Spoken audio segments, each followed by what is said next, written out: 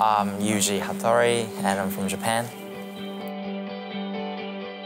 I've been here for one and a half years, then I think I was 15 when I first arrived here. You know, I was a bit scared. I spoke almost no English. Yuji was a very shy young man, um, was obviously not very confident with his speaking. They asked some questions to me, and I couldn't really answer them, but I realized I have to survive here, and I have to do something to change it. If I didn't understand the question, I asked back, like, say it again, or can you speak more slowly? Through those processes, my English got improved. He was quite keen on the idea of getting involved in everything. I got more confident and I could make some new relationships and friendships. He's just blossomed and all of a sudden, you know, he's now got the lingo of the local kids and really getting himself engaged in sports and obviously in class. In Christchurch, are very friendly and New Zealand is safe and quiet, and so it's a good environment to study. Do you want some help, Victor? I'm welcome to help you. One of the main reasons why parents do want to send students to St Andrews is that they know that there is a pathway to some prestigious um, universities or tertiary education around the world.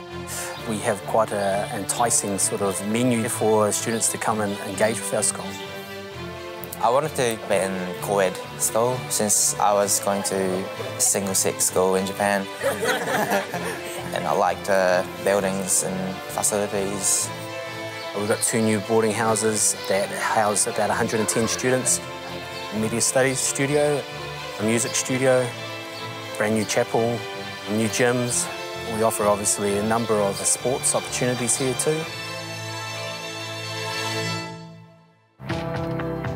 New Zealand is very diverse and we have Japanese, Chinese, and Korean, German, French, and it's like world itself, right? Like different culture in, in one community. This is a big advantage of StAC. St Andrews has given him an opportunity to be himself, but also be a part of something pretty special, and that's what St Andrews does here. It's a pretty amazing community feel. So I think that's probably been the big area where Yuji's really enjoyed himself. Yeah, I met some friends and I played hockey. I am goalie because I don't really like running. and goalie is like like the last defender.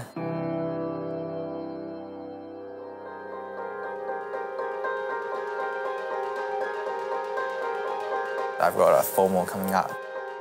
I hired a suit and I organized a partner, which is really nice, yeah.